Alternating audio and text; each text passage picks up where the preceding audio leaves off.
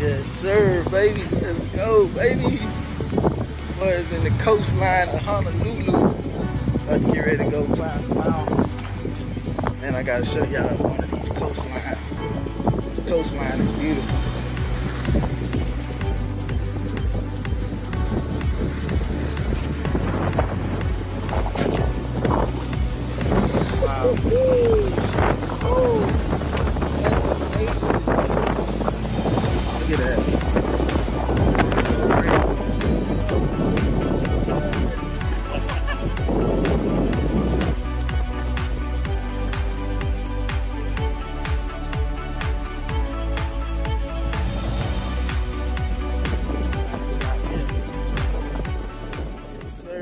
Yo, listen. Let me jump in here real quick. So, don't be afraid to go in the direction God is pointing you to. Don't be afraid to go because it's the journey. It's the journey to. Don't be afraid of the journey because it's the journey to that defines you. Let's get it.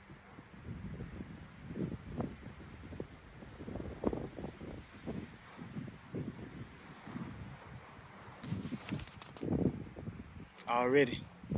Let's get fit for the kingdom. Let's go.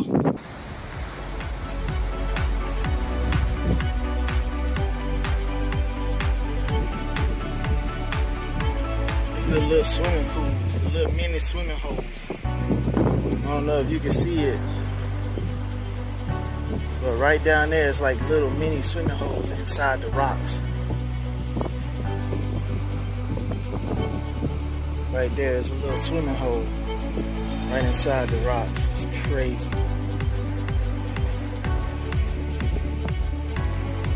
It's ocean. It's ocean view. This is the trail that I'm on. And this trail leads to the lighthouse. And it's closed. Not supposed to be on this trail. So don't do this. I don't recommend this for anybody. I'm just a little bit more adventurous than some people. Cause I really want to see this lighthouse.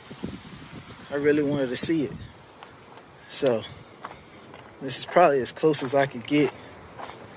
I mean, I probably could, you know, work my way around there, but ain't no need to be too dangerous. Wow. I gotta call my sister because she really wanted to see this.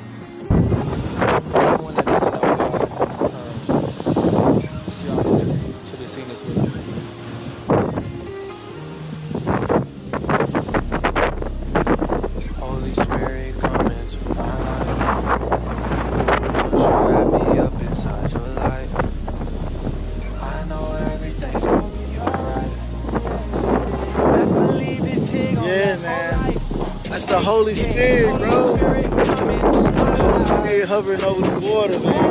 You You just feel it, man. You can hear him. Everything's Just listen. You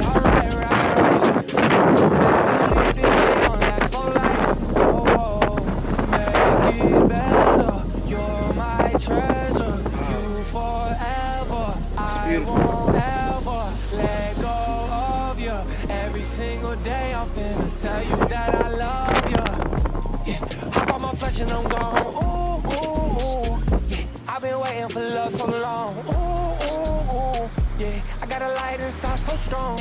Don't wanna lose this here, no, no. Your love, it pours on and on. You tell me I'm not alone. Oh, okay, I ain't pour no codeine in my eyes. I don't know. Yeah, yeah, I'm going walk by faith and not by sprite. Yeah, gave up all my burdens, that's on Christ. Yeah, that means everything's gonna be alright. I got a good thing by my side. Right through the pain in my own fire. Look at my soul you can see a fire. I let the spirit govern on my mind. Come to the river when you feeling dry. Like a gorilla beating down my pride. You gon' be seeing his love in my eyes. I'm feeling humbled every time I cry. Holy Spirit, come into my life. I'm praying for you. I am. I'm praying for you. Right here on top of the mountain.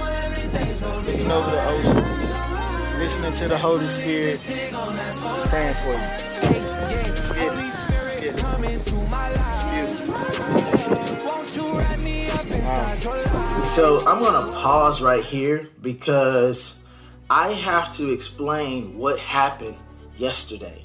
Um, how amazing God is. He's so phenomenal. He's the architecture of time by design.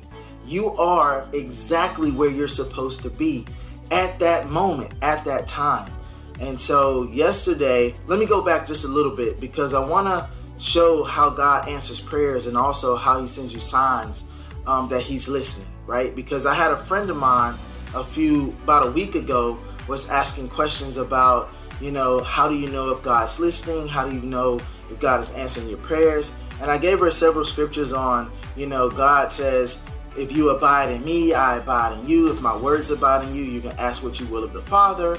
Um, also gave her scriptures that, you know, it gives God great pleasure. You know, fear not, little flock, for it gives God great pleasure to give you the keys to the kingdom. God wants to bless you. He wants to give you the keys to the kingdom because it gives him great pleasure to meet the desires of your heart, right? And so we talked about manifestation, right? Being able to manifest things um, through your relationship with God, not religion, but your relationship with God.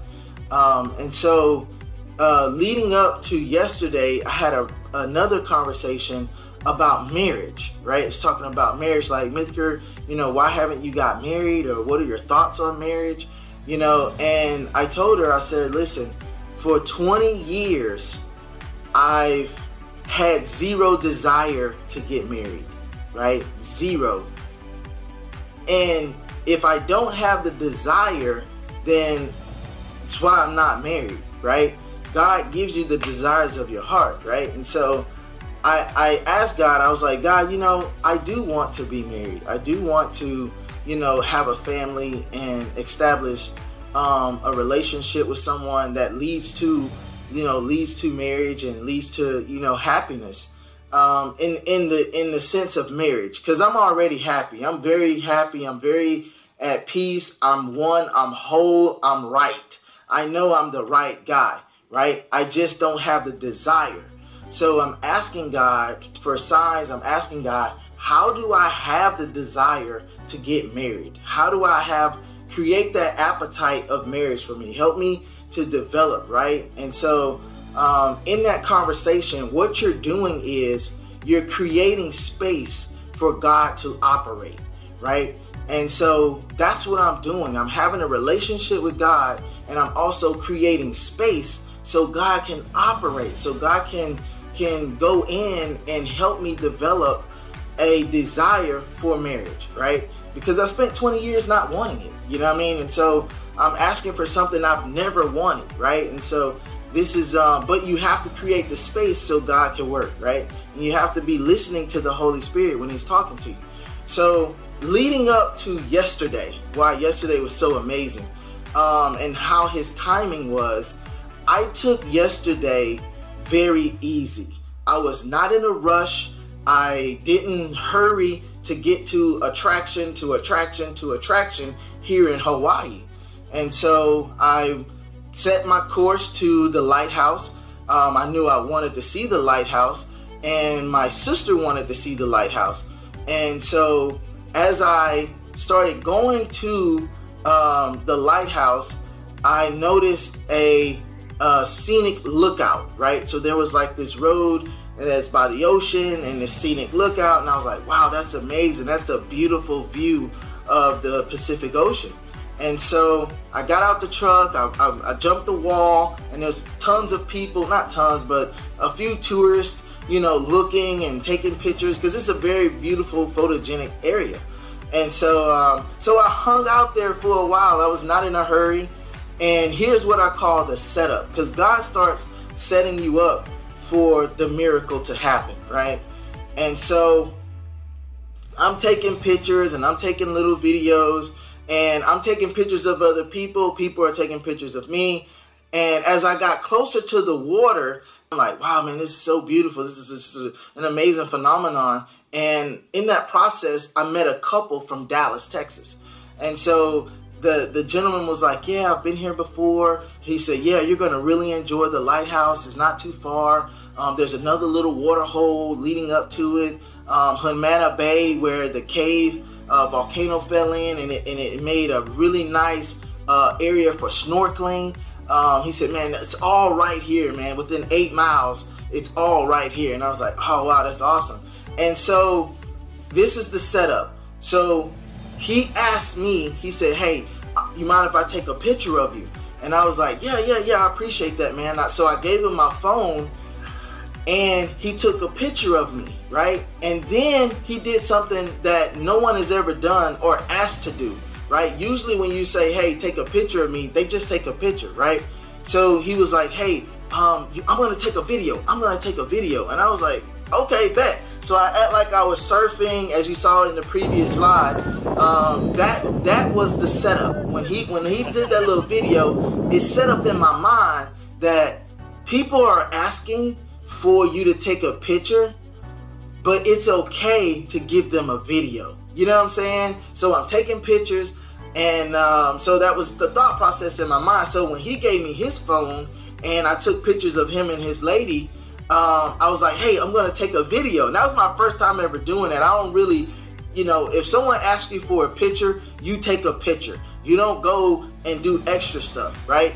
And so, so I was like, hey, I'm gonna take a video. And so I started taking a video of him and his his lady, and um, and that was really cool. And I was like, oh man, you know, I felt like really confident in the video. He liked it, and so uh, so anyway, so I'm taking my time getting to the lighthouse, right? Because the encounter that I'm about to have is at the lighthouse, but I have to be there at a certain time.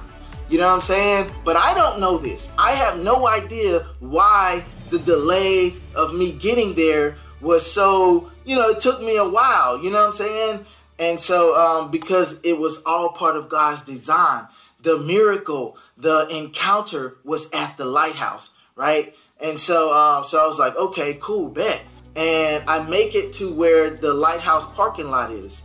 And so I'm making my way up up the mountain, and it's high, man. It's a, it's a, it's about an hour hike to get to the lighthouse, and then it's an hour back down, right? So I'm hiking this mountain. I'm hiking this mountain to get to the other side, and so um, in that process, I'm taking videos. I'm praying for everyone. I'm constantly praying.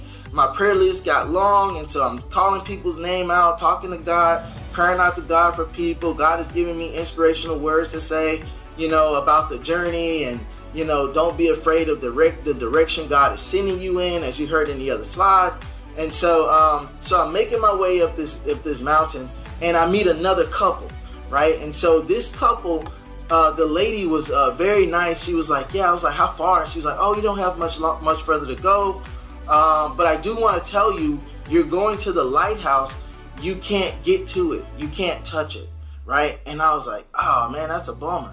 You know what I mean? Like she said, but there's a path that you could take. It's kind of off the grid um, that will get you close, right? So I was like, hey, I'm good with close, right? And so, uh, so I'm back on the path. I'm back on the trail, um, and so I make it up to where I see this area where the lighthouse was. And I was like, okay, that's the lighthouse over there. Okay, and I look over the cliffs and I see this trail leading back to an area that I already passed. And I was like, mm, that must be the side path that leads to the lighthouse. So I take the little side path. I was like, all right, I'm gonna, I'm gonna go ahead and go over that and, and go down the path. And so make my way as close as I can get to the lighthouse. And I'm just standing there in awe, like, wow, man, this is so amazing you know the the view um, was incredible. I, I, it was very breathtaking. The wind, the Holy Spirit was just just blowing all over the the water, and you could just you know if you just be still and listen, you know, man, you could just really hear and feel God's presence, right? And so I'm there, and I'm there for a while. Like I, I was like, what am I waiting on? I could have been left, right? And um, so I, I, I FaceTime you know, my daughter because she wanted to see it. I FaceTime my sister, you know, because she wanted to see it. And um, when I got off, when I'm on the fake video with my sister, I saw a couple standing at the lookout looking down at me. And I was like, oh, that's dope. They, they, they see me down here. And then I didn't see them no more. And then all of a sudden I saw them at the gate when I looked back over and I was like, oh, they, they coming. Like, yo, like they about to do what I did. Like, yo, let's go. So I kind of got pumped up because I was like, all right, I'm not the only one that kind of took this took this path, you know, off the off the off the grid. You know what I mean? And so they worked their way down to where I was, and um, you know, and I was still on the video with my sister, and then he he went past me to where the gate was that leads to the lighthouse, right? Because the gate is locked, and so him and his girl, you know, they had this like lock mechanism, right? There was a lock that they were gonna lock on the gate, and you know, I love you, I'm locking it in for life, you know. And uh, I was like, oh, that's that's kind of dope. And so he came back toward me, and I got off the video call with my sister, and he came back toward me. He was like, hey, I said, you ain't even, I already know, I got you, bro. I'm like, I'm gonna take a picture, you know what I mean? And so he wanted to make the moment very special. And so, um, so he grabbed me, he gave me his phone, and he was like, "Hey, do you mind if you take a picture?" And I was like, "No, I don't mind at all. I don't mind at all." He gave me the phone. He, he him and his girl grabbed the lock, and they were putting it on the gate. And I was like, "This is a video moment." You know what I mean? Like in my mind, like I didn't ask permission, but but I was in my mind thinking like, "This is a video moment." So I switched his switched the phone to video mode, and I started videoing, and this is what happened next.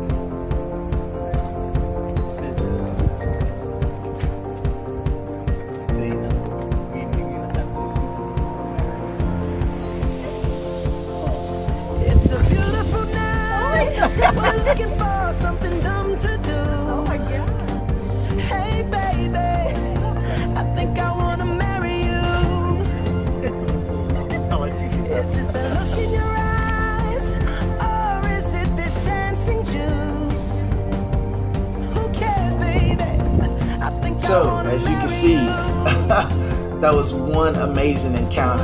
Um, I got a chance to be a part of a marriage proposal, and I was asked to take a picture, but God told me to take a video. And the fact that I was looking and searching for is God hearing my prayers? Am I abiding in Him? And I get a chance to be a part of a proposal is God's way of saying to me, hey, I'm listening to you. Um, I appreciate you creating space so that I can operate. And I was like, wow, man, that's amazing. And me and the guy was just joking, you know, and I was like, well, I guess I'm on deck.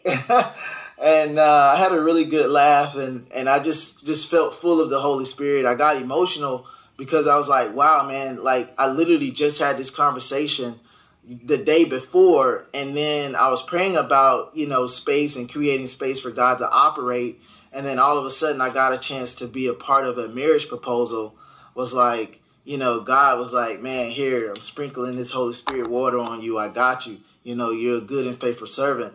And, um, you know, I appreciate you giving me space to operate. And so that's what I want to leave you guys with. You know, um, one is building a relationship with God. It's not a religion.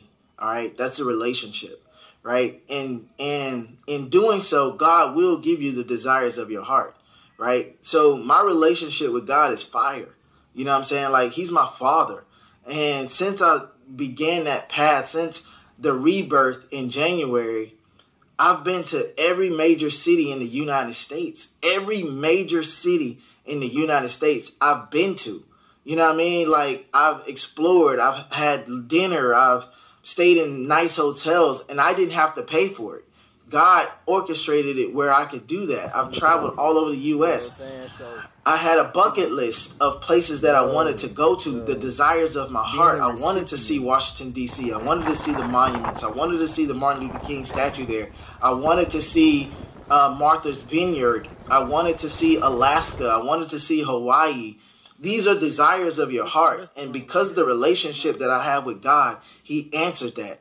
Not only that, God put in me to pray for people. And every time I pray for people, and, I, and I'm not selfish, I'm not only to pray for myself, most of the time, I'm always praying for other people, putting other people's prayers before me, just like Jesus. Jesus will put other people's uh, needs and desires before his own. Right now, Jesus is still working. He's still praying for you.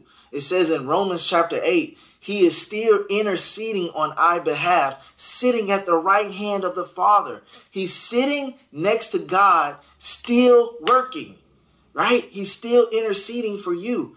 And I'm like, man, how can I be more like Jesus? So, you know, Jesus teaches us to love one another, right? And if we do this, we are his disciples. He calls the, he called us to be disciples, not religious, not Christians, not Muslim, not, you know, all these different type of religions.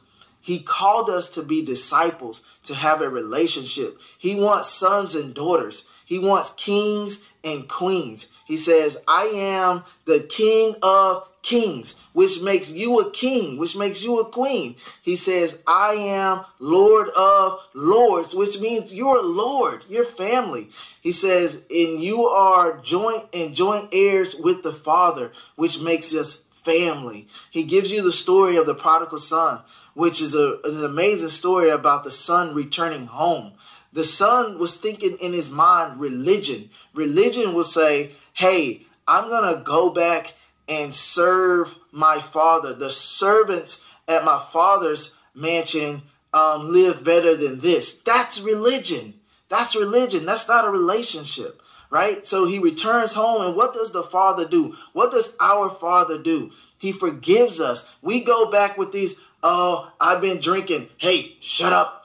Uh, I've been fornicating. Hey, shut up. Get the robe put the robe around him, get the ring, put the ring on his finger, get the slippers to put him back in right standing. My son is home. Royalty is home. You and I are royalty. This is the image that he's painting for the disciples to let them know you're not just a servant. Sounds so humble and so humility, but that's that's that doesn't that doesn't do anything for God right? God wants you to come to him boldly to the throne and say, Pop, this is what's going on, Dad. This is what's going on, Father. You know what I'm saying? Like, think about it. If you're a parent, if you're a parent and your son or your daughter comes to your house and says, I'm not worthy to eat at your table. Um, mom, um, dad, I'm not worthy. Can can you put my my my food in a bowl and put it outside by the tree? How would you feel as a parent if your son or your daughter came to your house and said, I'm not worthy to eat at the table with you. Put my food outside by the tree. What?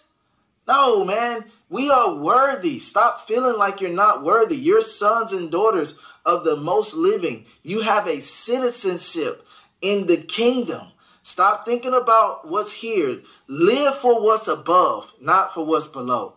All right? I know I went on a small rant. I love you guys. I love praying for you. Please let the prayer requests continue.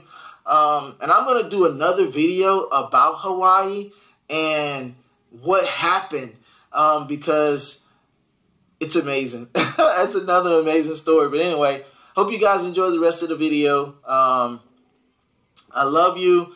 Um, God bless you. Uh, contagious positivity forever. Um, and just know if you ever need someone to talk to, if you ever need prayer, if you ever need a friend to listen, um, hit me up, man. I'm here. I love praying for people. I love having uh, uh, conversations about God, and I'm here. You know, I want to I want to be your your your spiritual encourager. I want to be your spiritual motivator, your spiritual influencer. So drop a comment, leave a leave a message, share with a friend that that needs to hear from God. Um, yeah, so have a blessed day. I'm out. Aloha from Hawaii. Uh, hope you guys are having a, an amazing time. I'm gonna go out and enjoy the rest of the day.